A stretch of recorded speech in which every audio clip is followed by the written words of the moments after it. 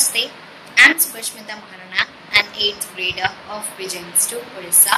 Now I am going to perform an activity of embracing which is activity number 13. So let us start. The first phrase or the word is not possible. If your friends call you up uh, to go for shopping and you are busy with some work, with workload, you can say not possible. The second phrase is not this time. If your friends, the same example I will take. If your friends call you to, to go shopping, you can use the not this time. I will prefer the next time or I will go next time. Number third, I would love to, but I can't. If your mother is cooking dinner and you ask that, uh, Mom, can I help you? Uh, or may I help you?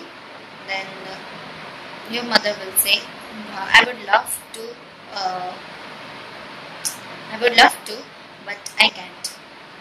Uh, and she can use this if you do some mischief or if you are not perfect in helping, you are not perfect in cooking dinner. So the fourth phrase is unfortunately now it's not the good time for me. Uh, having a workload is a different thing uh, in this situation. If you aren't comfortable with this person, you can say that unfortunately not this time, or unfortunately this time is not good for me. Then the fifth phrase is that would be great, but